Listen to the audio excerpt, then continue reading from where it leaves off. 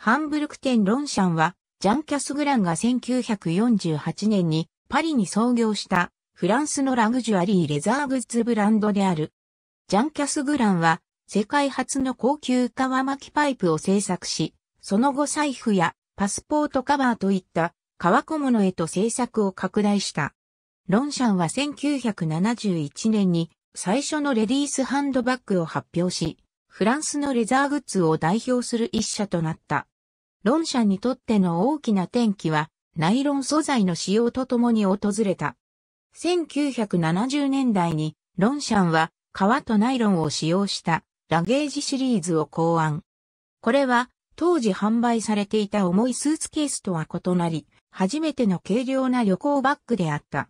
この発明が数十年後にル・プリアージュの名で世界中に知られることとなるレディースハンドバッグのデザインへとつながった。ブランドの最もアイコニックな製品であるル・プリアージュはコンパクトに折りたためる革新的なレディースハンドバッグである。発売と同時に、たちまち人気を博したるプリアージュは、今もロンシャンのベストセラー製品となっている。ナイロン素材をはじめとしたるプリアージュのデザインは、様々なフォルム、パターン、カラー、素材で再構想、再考案され続けている。ロンシャンは、レザーとキャバスチのハンドバッグ、ラゲージ、シューズ、トラベルアイテム、ファッションアクセサリー、プレタポルテのウィメンズデザイナーラインを含む幅広いラグジュアリーグッズを送り出している。ロンシャンは有名ストリートやアベニューに店舗を構える300以上の高級ブティックをはじめ、世界80カ国の1500に上る流通拠点で展開している。なお、現在も創業一族であるキャスグラン家が会社を所有、経営している。1948年にジャン・キャスグランはパリにある父親のタバコ屋を、シュルタンを受け継いだ。ジャン・キャスグランは、第二次世界大戦後、連合軍にタバコと喫煙具を供していた。その中でも一番利益が高かったのは、パイプの販売であった。兵士たちは少しずつ店の常連客になっていった。連合軍が終戦後パリを去った後、ジャン・キャスグランは事業を多角化した。1950年代にエキゾチックな革が特徴の世界初ラグジュアリー革巻きパイプを発表。エルビス・プレスリーといった海外セレブたちがこの革巻きパイプを好んだ。ジャン・キャスグランはジャン・キャスグランカンパニーと命名した会社を立ち上げ、喫煙者向け革巻きアイテムの販売を拡大。パリで薄紙販売をしていた親戚がすでにキャスグランの名を使っていたため、ブランド名はパリのロンシャン競馬場にちなんで付けられた。ロンシャン競馬場の風車当時、パリ郊外にあるロンシャン競馬場の奥には、こう引く風車小屋があった。ジャン・キャスグランは、フランス語で粉引きを意味するキャスグランという名から、こう引く風車を想起させる競馬場をブランド名にし、颯爽とかける馬と騎士をロゴに選んだ。キャスグランは川巻パイプの成功から、ロンシャンの未来は革小物、パスポートカバー、財布、バッグ、その他の男性向けレザーアクセサリーの製品ラインナップ拡大、多様化にかかっていると確信した。1950年代初頭、すでにすべての大陸で調査と販売を行っていたキャスグランは輸出マネージャーを雇い、製品の輸出に乗り出した。ジャンと息子のフィリップ・キャスグランが市場と機械の拡大に関心を持ち、ロンシャンは1970年代終わりに向けて東南アジアにブティックをオープン。シンガポール、香港、日本で初めて販売されるヨーロッパブランドの一つとなり、世界的な事業展開へと向かった。事業が拡大するにつれて、ジャン・キャスグランは女性がハンドバッグに興味を抱いていることに気づいていった。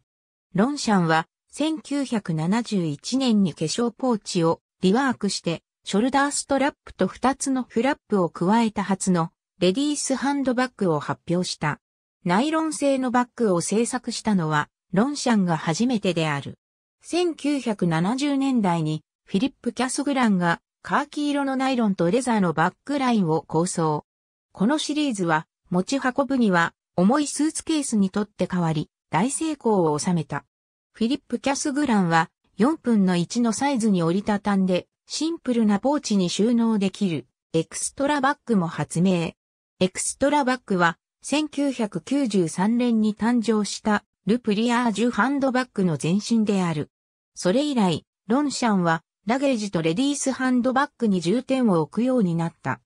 1978年に初めてのレディースハンドバッグシリーズ LM ラインを発表。バッグはプリントレザーで作られた。同年に喫煙者向けアイテムはカタログから姿を消した。1983年にフィリップがロンシャンの CEO に就任。妻のミッシェルを迎えリテール部門の指揮を任せた。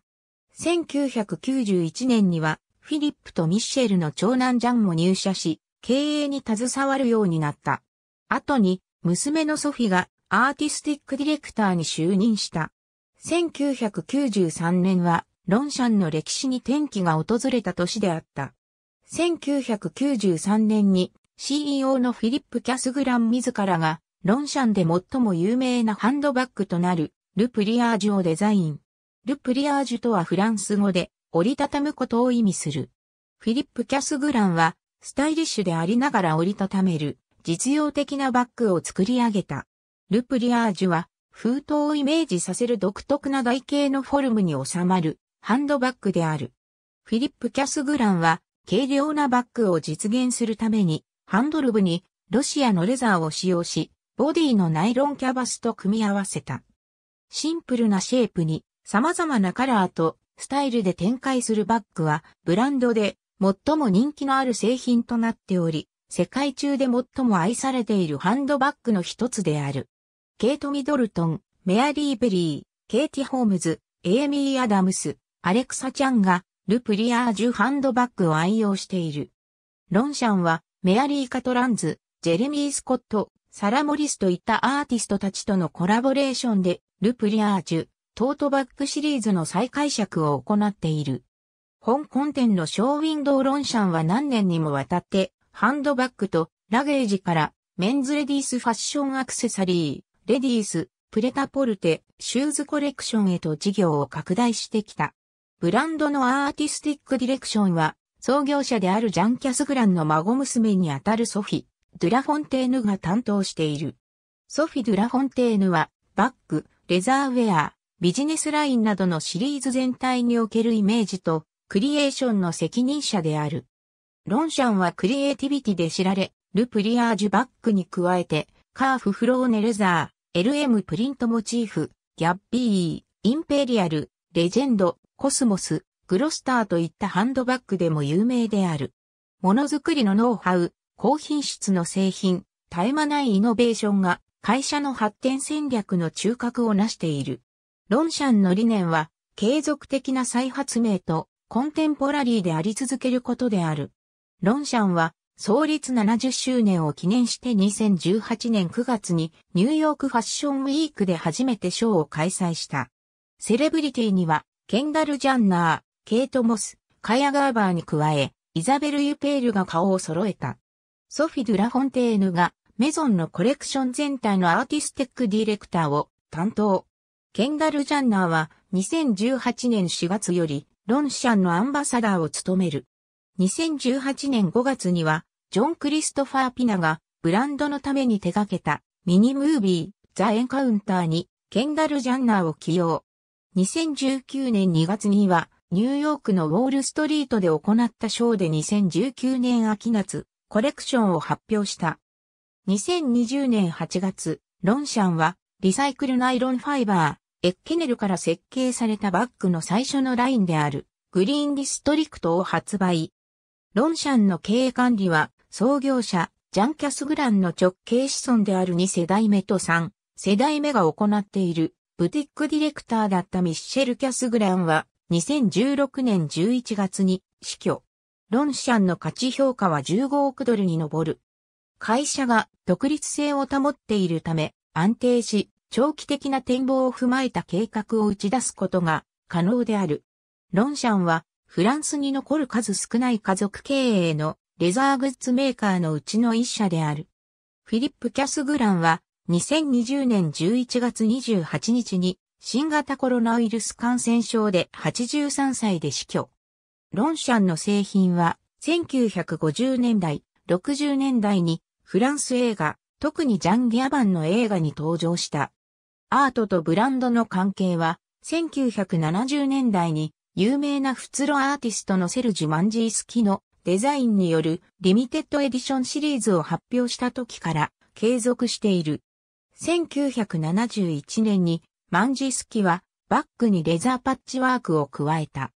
ロンシャンはこの発明で最初に一流アーティストとのコラボレーションの世界に参入したレザーグッズブランドのうちの一社となった。それ以来、特別な製品のデザインやブティック解説の際にアーティストたちとのコラボレーションが続いている。2004年にロンシャンは独立デザイナーのトーマス・ヘザーウィックとのコラボレーションを開始。ヘザーウィックは、まず、ベストセラーとなったジップバッグをデザインした。長いジッパーがバッグを構成するハンドバッグである。ジップバッグの成功により、ヘザーウィックがロンシャンのニューヨーク機関店のデザインを担当することになった。2004年と2005年にはトレーシー・エミンがロンシャンのラゲージをパーソナライズ。トレーシー・エミンはメエブリータイムというメッセージを施したパッチワークのロンシャンバッグを実現した。2005年以来、ジェレミー・スコットは、ル・プリアージュのスペシャルエディションを定期的に、そしてハンドバッグのシリーズを毎年デザインしている。2008年には、ジャン・リュック・モーマンが手掛けた LM シリーズの復刻版が販売された。2009年には、ジェレミー・スコット、シャルル・アナスタス、デザインデュオ・プレスが、フランス国内外のモードの新しい才能を発掘、支援するアンダムの20周年を祝うために協力。この機会に各デザイナーはロンシャンのルプリアージュバッグのリミテッドエディションをそれぞれ実現した。ルプリアージュはクロワッサンやエッフェル塔と同様フランスの象徴です。シックで洗練されたスタイリッシュなオールインワンですとジェレミー・スコットは語った。2005年から2015年にかけてジェレミー・スコットは20スタイルのバッグを生み出した。毎年、ポップカルチャーなデザインの中から一つを応用させて、ロンシャンのルプリアージュに新しいルックを与えている。この10年でジェレミーは宇宙のプードル、星座、クレジットカード、タイヤアートなどのモチーフを展開。ロンシャンとのコラボレーション10周年を記念した限定版のハンドバッグにはデザイナーによりウィッシュユーアーヒアと書き添えられたハリウッドからのポストカードが描かれている。ケイト・モスは初めてロンシャンの広告キャンペーンに起用された2005年から2011年までロンシャンのアイコンを務めた。ケイトは初の起用広告キャンペーンから数年後、ロンシャンとのコラボレーションでハンドバッグをデザイン。まずはじめに伝説のバッグに赤のラインを加える提案をした。こうしてトップモデルは、ロンシャンのアーティスティックディレクター、ソフィ・ドゥラフォンテーヌとの共同制作で、ケイト・モス for ロンシャンの名でバッグを発表し、2010年には、ケイト自身のハンドバッグ使いをベースにした全、ラインナップを発売。ケイト・モスシリーズは、ケイトのシティライフを反映した12バリエーションに及ぶバッグで構成されている。ネーミングは、双方、ラッドブローク、グロスター、グラストンベリーといったケイトのロンドンのお気に入りの場所から付けられた。2011年にロンシャンはデザイナーのメアリー・カトランズと共同してプリントトートバッグのラインナップを生み出した。トロンプルイユのファブリックをフィーチャーしたバッグはベトナムの寺院と咲き誇る花々からインスピレーションを得た大胆な色使いのワイルドなデザインである。メアリーは2012年に新プリントのスペシャルハンドバッグ2点を創作。大きいトートバッグには、ラン、竜、サンゴの装飾が施され、小さいトートバッグには、アジアンジーンと彼女の始発点でもある NY、カーネギーホールのエントランスを融合させた、カラフルなランタンと花々が散りばめられている。メアリーは、ランとランタンをフィーチャーした、ルプリアージュハンドバッグもデザインしている。ロンシャンは、2014年にサラ・モリスとパートナーシップを組み、ル・プリアージュハンドバッグのリミテッドエディションを発表した。2016年4月に、ロンシャンは、パリのサントナレ通りに面した由緒あるブティックの改修工事をスタート。工事中、ファサードはアメリカのアーティスト、ライアン・マクギネスによる鮮やかで刺激的なアート作品、マインドスケイプスで覆われた。ロンシャンは2017年に米仏アーティストのバーラム、村ちゃんとコラボレーションを行う。シェーン・オリバーは2018年にプレタポルテとアクセサリーのロンシャンバイシェーン・オリバーコレクションを発表。ルプリアージュバッグのアレンジに加えて、ロンシャンの他のモデルのデザインも手掛ける。2020年9月のパリファッションウィーク中に、ロンシャンは、レプリージのバックラインでポケモンとのコラボレーションを発表。キャラクターピカチュウは、ブランドの歴史を参考に、機種爆弾で飾られているように見える。このブランドは、プレイヤーが仮想ロンシャンバックパックを使用して、アバターをカスタマイズできるポケモン GO ゲームにも存在する。ジャンキャスグランは、はじめは喫煙者向けアイテムを販売していた。それらは、パリの職人たちが手作業で、パイプに皮を巻いたものだった。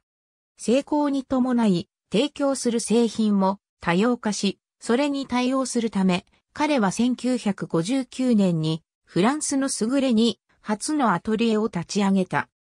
会社の製造能力は優れと、1969年開設のレマラール、1972年開設のエルネ、そして2000年代開設のコンブレ、シャトーイコールゴンチエ、モントルネといった新施設を通じて徐々に増えていった。ロンシャンはフランスで製品を作り続けている。独自のアトリエを持ち、フランスで最大規模の比較製造を行っている。フランス国内にある6つのアトリエでブランドが販売しているハンドバッグのうち半分を製造し、残りの半分の製造をパートナーが担当している。現在ロンシャンはフランスのプゾージュに新しい製造工場を建設中である。現在モントルネがベースとなっている比較工房をこの新工場に移転する予定となっている。このプロジェクトは製造プロセスを発展、近代化させるための計画の一環である。新工場の敷地面積は約7000平方メートルに上り、従業員100人の稼働スペースに加え、新スタッフの教育研修、フォローのためのラーニングワークショップのスペースも設けている。新しい製造工場は2018年にオープン予定となっている。主にフランスとイタリアで専門メーカーが製造しているプレタポルテとシューズコレクションを除き、製品の大部分は自社製造を行っている。従業員1650人と、ハンドバッグとアクセサリーの製造者1500人の合計は3000人に上る。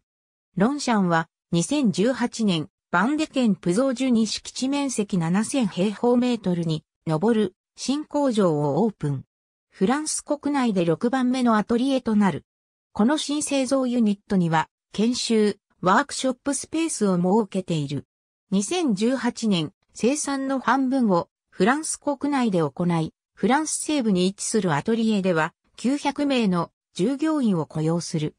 ロンシャンは2018年、世界各国に1500カ所の販売ポイントを数え、そのうち300店舗の直営ブティックを展開している。世界中でロンシャンの事業に携わる者の人数は3200名に上る。ロンシャンはリテーラーを通じて1950年代よりアメリカでの販売を行っている。1984年に初のアメリカブティックをマディソン大通りにオープン。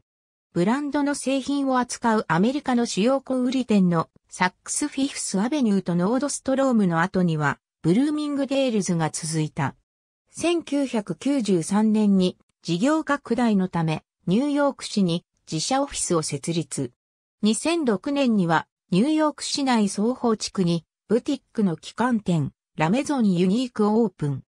この店舗はブランドの最大規模を誇りベストセラーアイテムとなったジップバッグハンドバッグを生み出したトーマス・ヘザーウィックがデザインを手掛けた。2014年時点でロンシャンは北米27店舗を展開している。ロンシャンは2018年4月にニューヨーク5番街に新店舗をオープン。米カリフォルニア州ビバリーヒルズにブティックをオープン。サントノレ本店1998年にフランスパリのサントノレ通り390番地に初の専用ブティックをオープン。1999年にはセールスフロア拡大にあたり、パリのブティックをサントノレ通り404番地に移転。2013年にロンドンのリージェントストリートにニューヨーク市に次いで世界で2番目に大きいヨーロッパ最大のブティックをオープン。2014年12月にはパリのシャンゼリゼにさらに大きいブティックをオープン。500平方メートルの店舗はヨーロッパで最も大きいロンシャンのブティックである。機関店の2フロアにはメンズレディースレザーグッズのほか、ラゲージ、レディースプレタポルテ、シューズを含むメゾンのすべてのコレクションが並ぶ。ブティックの壁には有名なるプリアージュハンドバッグが飾られ、パリジャンや世界各国から訪れるツーリストを魅了している。ロンドン、ローマ、バルセロナ、ミュンヘン、ベニスを含むヨーロッパ主要都市で展開している。香港店ロンシャンは2006年より中国での展開も行っている。2011年に香港に新たな旗艦店ラメゾン8をオープン。このブティックは、ロンシャンにとって世界で2番目の規模となる。その1年後、北京、上海を含み、中国にさらに7店舗をオープンし、中国での店舗数は合計で50店舗となっている。2014年には東南アジアで22店舗をオープン。これらの店舗の売上高は全売上高の10%に相当する。2017年9月29日、東京表、参道、原宿エリアに日本国内初のロンシャン旗艦店、ロンシャンラメゾン表参道がオープンした。ロンシャンは2017年10月に東京の表参道にアジア最大のブティックをオープン。7階にわたるフロアにラゲージ、ウェア、シューズ、バッグなどのコレクションをフルラインナップで揃える。オーストラリア人アーティスト、ジョン・アスラニディスによるファサードがビルの一部を包み込んでいるように見える。2018年にはミスターバッグの名で知られる中国ブロガーのタオリャンとのコラボレーションでカプセルコレクションを発表。ロンシャンの中国の店舗数は合計で18店舗を数える。2019年には中国の e コマースサイトを立ち上げる。ロンシャンは2013年に事業拡大促進に向けてロジスティックに投資を行った。フランスの優れに2万3000平方メートルのロジスティックセンターを建設するためである。この施設は以前の施設と比べて2倍の規模にあたる。海外販売網を有するロンシャンは幅広いラインナップの製品を販売している。ロンシャンはブラジル、イスラエル、アブダビ、ペルー、チリ、パラグアイ、カナダ、オーストラリア、マカオ、カンボジア、ドバイ、クアラルンプール、タイ、フィリピン、インドネシアなどを含む80カ国で展開している。サウジアラビアとカタールに重点を置いた中東地域のネットワーク拡大も計画しており、メキシコ、ベネズエラ、コロンビアにフランチャイズショップも有している。世界各国に300店舗以上の直営、ブチークを展開しており、リテイラー、自社ブティック、デパート店舗、マルチブランドファインレザーグッズ販売業者、エアポートショップ、オンライン販売、20の物流市会社を含め1500カ所の販売ポイントを数える。ありがとうございます。